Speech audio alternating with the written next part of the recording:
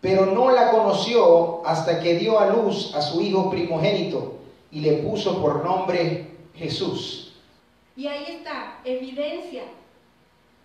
Y que nos demuestra varias cosas. Número uno, nos demuestra que Jesús era el primogénito, el primer hijo de José y de María. Hay un cuento por ahí que dice que José hijos y su esposa murió y ahí se casó con María y de ahí vienen los hermanos de Jesús. No es verdad.